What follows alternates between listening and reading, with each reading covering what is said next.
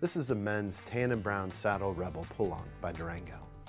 This features a full grain leather upper, saddle work on the vamp, and these pull tabs for easy on.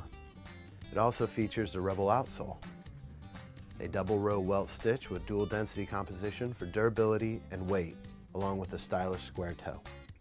The outsole also has a tempered steel shank for stability and a rolled heel for a smooth stride. Inside the boot, we have a nice mesh lining for moisture wicking and removable cushion insole to keep you comfortable.